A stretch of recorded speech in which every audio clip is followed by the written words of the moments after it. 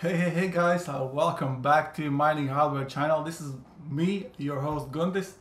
And uh, yeah, you're probably thinking uh, what I'm doing here. Uh, mining is dead.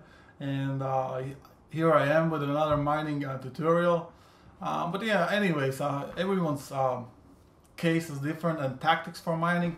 I do prefer that currencies are down and that means that the mining difficulty doesn't grow as fast, especially if you do, do believe um, the the top currencies, you know, like Bitcoin, Ethereum, um, you know, if you do believe them that they're going to be do good and you just mine them and keep the coins. Um, and also protect yourself uh, when the coins are uh, in the price are up, you know, then just, you know, uh, put some money on the side for uh, power costs in the, such a bad times, you know, because this happens uh, time to time. Um, quite often we have had similar situations that only the uh, power cost will cover your mining profits. And that's all you will actually in some cases you would even lose the money.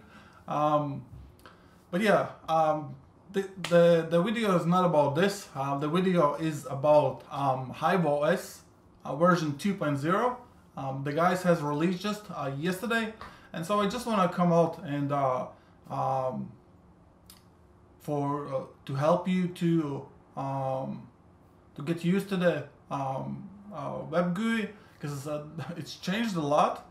Um, there's you know new features uh, and the looks is uh, new and overclocking is done different way and you know the most most of the uh, most of the new features is that they have now the um, a fan control automatic fan control so you can set up your uh, GPUs to reach certain temperature. And you know you can put the uh, how much the fan speed you want you know maybe 20% you know and if it reach uh, reaches 65 Celsius then the then the fan speed will increase to keep the temperature down to 65 degrees. And also now each user can create multiple farms um, which I will show you there in a minute. Uh, also the wallets there's no more e-walls d-walls or z-walls now it's just a coin, you create a coin, you put a wallet in and then you just select a coin what you want to mine. Um, also the, the, there's a, such a called flight sheets which is um, which is the uh, like a wallet file on the uh, on the previous version where um, where you can put setup details you know they have also they have already you know um, pre-set up mining pools with coins so you just need to put in um, they have most of the mining pools in, in, in into the one, uh, into the uh, all the into the uh, uh web GUI. So okay, let's let's switch on to the screen. So as you can see, um, this is what I was talking about. You can create multiple farms for one user, and then you just uh, see your farm and uh, as as your previous version, you click on the workers, you see all the workers there um, it's I think the looks is much more better. You know, there I seen there's a lot of guys frustrating that uh, you know they want a back first version. But believe me, this is this is much better. And also, um, what's what's good about it? Um, you will get used to it in one to two days. You know, and this this has more features and uh, you know easier to see. You can see the issues like you can see straight away uh, from your panel. You can see. Um, you know what's the issues uh, with the uh, GPUs here? This rig is maybe getting only 85 uh, percent of the shares you know there's invalid shares so there's something wrong with this you know it needs to be set up. Um, you can see how many GPUs um, straight from your workers panels how many GPUs has you know uh, every every miner like th these green green uh, what do you call them green dots. Um, they are showing how many GPUs and uh, uh, the miner has. Like uh, 8 GPUs the greens then you then, then when you click on it it, it pops up the screen and shows every GPU the temperature on every GPU and the mining speed on every GPU so that's what it does. Um, also what you can do uh, you can now you can select multiple rigs so for example first second third and you can do the, there's a pop-up a new setting on the top of the screen so you can uh, change overclocking profile profiles. You can set up auto fans for them. Um, so for example, to set up auto fans, you can see that the uh, you put the target temperature. This this this means how uh, temperature, how much you want to reach it um, before uh, under which temperature you want to keep the GPUs down. So if you put a 70 degrees uh, Celsius, the GPUs will go to 70 degrees and they will work with the minimum fan speed um, uh, possible. This is you put the minimum fan speed, how, how much you want, you know, uh, the fans to be working. Um, and then the maximum fan speed and also the critical uh, temperature. And also you can switch between the uh, cards, you know, if you don't want these on AMD cards or NVIDIA, um, reboot if there's any errors. So these two settings you can switch on also. Yeah, this I think this is the main main good feature. I was already testing it and it's working perfect. Um, so next, um, yeah, these features you can change the wallets and miners. Um, so next is uh, wallets. Like, how do you create a wallet? Um, you just add a wallet, new wallet, for example. You choose a coin, what coin you want. Um, for example, Ethereum. Then the wallet address. You put in the wallet address, yeah, 0x. And you name the wallet how you want it. And that's it. You can see that there's a, a new wallet for you for you created. And then then after that, if you want to mine a, a coin, like for example Ethereum, you go to the flight sheets and you create a new uh, coin. You just choose Ethereum and it will give you options for your wallets. This is the wallet we just created. So you just choose that wallet and it also gives you an option what kind of pool you want to mine. So for example, I like the best Ethermine. I choose Ethermine and it also allows me to uh, choose what server I want to use. So I'm in Europe, I choose Europe. And also if you like you want to use some kind of different server, there's advanced configuration you can you can put it in. But uh, this this one is good for me. Um, then you can also what you can do you can uh, uh, you can select the miner next which you want to use. You want to use this is remember this is all preset. You just choose. Uh, you know it couldn't be simpler than that. I don't know why guys would want uh, Hive OS one back if they have such an easy setup now. Um, okay, you choose the Claymore miner. After then, you can set up also the, the miner configuration. This is the same uh, thing uh, um, as you had in the Hive OS first. Like if you want to override some configuration, like you want to set up the fan speed that's mi minus minus TT TT one, I think. This is how you turn on. I think so. Yeah. So this means like you, you want that uh, the fan speeds is not automatically uh, managed by Claymore, but you can manage them from your overclocking profile. Um, you can mine dual coin. You choose if you have a like a setup wallet for a different uh, dual coin. Um, so it go, give, gives you an, uh, even an option what kind of dual coins you can mine. Um, then then you can choose.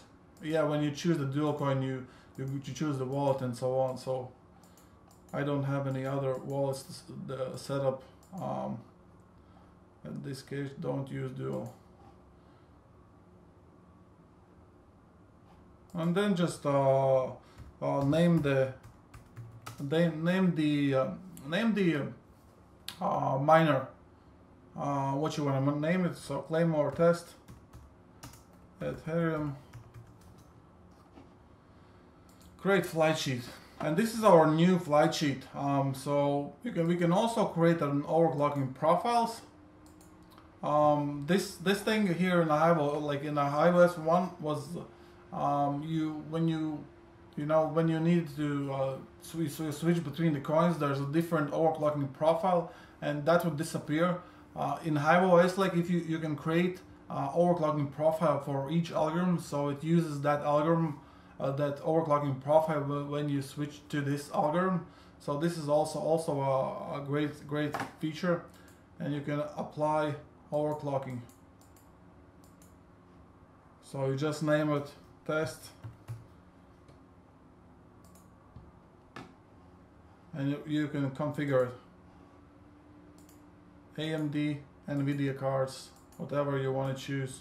And also, what, what another good thing, you know, they, they have implemented um, uh, uh, ETHlargement Pill for uh, 1080s and uh, 1080 um, Ti's, which uh, increases a lot of speed uh, for Ethereum mining. I'll show you that in the next video. I have one 1080 rig hashing on the HiveOS. So yeah, what else I, I needed to show? Um, flight sheets.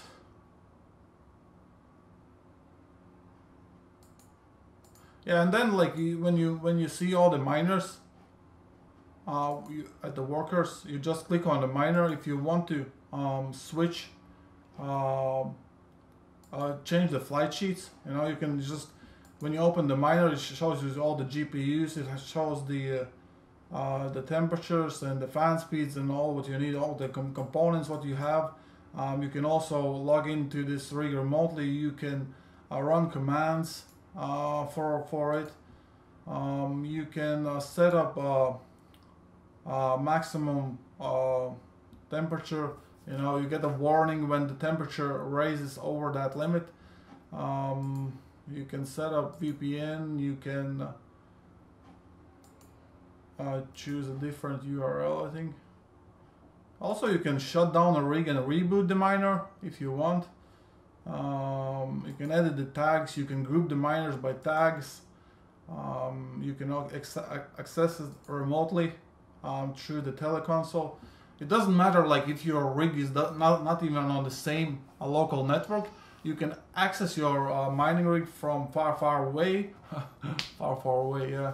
Um, uh, yeah, just by uh, teleconsole, which is a which is a new thing, um, and you can reboot the miner. You know, if the sometimes, sometimes the miners crash, but you can still can access them remotely to reboot the miner, and that means you don't need to uh, reboot it physically um, if you know don't have any those power remote controls. And uh, yeah, you can put also watchdogs. Um, you can put watchdogs for uh, a separate rig. You can put uh, watchdog for a separate uh, miner. Um, like if the, the, the speed decreases under your preferred, um, like for example here, 300 uh, mega hash, you know, uh, mining rig. You know, if it if this goes under 300 minutes, uh, mega hash and uh, miner uh, miner is uh, still under 300 mega hash after three minute, minutes, the mining mining rig will reboot itself. That's that's the uh, watchdog for uh, watchdog for the uh, miner. And next, yeah, when you can change all this, you know, you can switch the miner between the coins. You can change the flight sheet. You know, you can uh, choose mine Ethereum. You can choose mine any other coin which you have set up. Um, then overclocking, you can overclock every every mine separate. You know, it also gives you the sample even. You know, um, this is the overclocking for hash, and it shows you how many coins there is on hash, which would probably use this exactly the same overclock if you had set up for the maximum uh, mining. Uh, tuning, not really sure what is this tuning. Oh, you can you can override the uh, miner configuration. That's the tuning. Uh, you can see the miner stats. You can see the temperatures you can see the the power usage. You know of course it's not accurate doesn't show here but still you know you can see it. Um, it does show uh, some kind of changes. Um, activity. There's nothing so far in settings and you can also yeah from the settings you can go and if you want to remove this work and you can delete this. Also you can uh, transfer the miners to a different farms so you, you know if you are mining rig manufacturer and you sell the mining rigs, you can transfer to uh, a different different uh, uh, farms, or you have multiple farms, you can just transfer the rigs. You know, if you have maybe two locations and you can decide, you know, uh, move ten rigs to another location, you just simply transfer uh, to another farm in your HiveOS. Um, I think this is it. Um, I will have probably another uh, video when I go through this uh, more advanced and uh, I would love to know in the comments down below you know what kind of issues you have what uh, you don't understand from the HiveOS 2.0 I think it's very good Um, let me know what you think about uh, about it. Um, if you love to use it, if not, um, yeah. And uh, if you would want to see another video of something, you know, um, uh, overclocking or yeah, I, I forgot another thing I, I, I can show you. Also, it's easy to uh, modify the graphics cards. Um, overclocking. Yeah, flash the BIOS. You can download the the, the uh, graphics cards BIOS uh, right from your uh, uh, web panel, and then you can just flash the uh, flash the BIOS on whatever card you want. So easy, yeah. Um, yeah, it's, it's, it's really is honestly uh, to use uh, very easily, and I do prefer it, and I do love it.